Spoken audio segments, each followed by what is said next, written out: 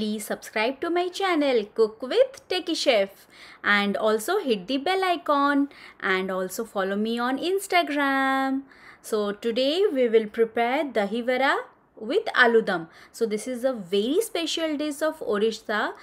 So when you visit Orissa, please have it on your list. So let's check the ingredients now.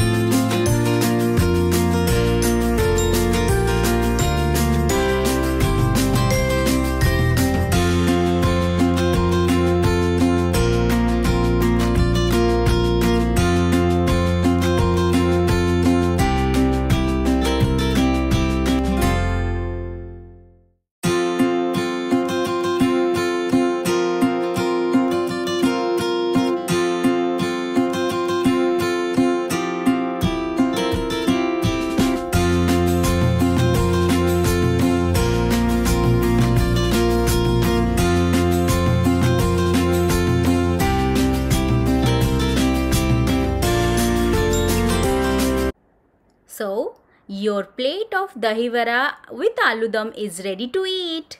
So please try it at your home and let me know on the comment section how do you like it and also please share it with your friends and family and thank you for liking my channel.